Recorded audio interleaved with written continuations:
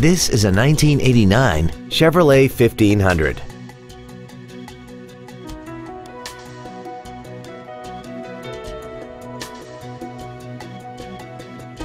Contact us today to arrange your test drive.